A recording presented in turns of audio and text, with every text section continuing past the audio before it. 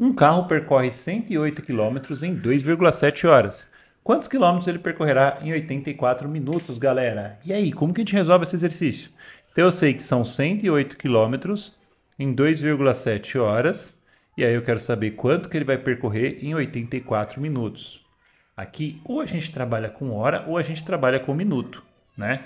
Então, como as respostas aqui estão, né, enfim, eu acho melhor pegar esse 2,7 horas, pegar o 2,7, né?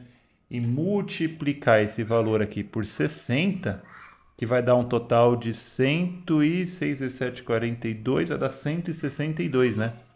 162, aí a gente trabalha só com minutos. O que, que vocês acham? Depois vocês comentam aí, ó. 162. Aí a gente faz uma regrinha de 3 aqui, que vai dar o quê, ó?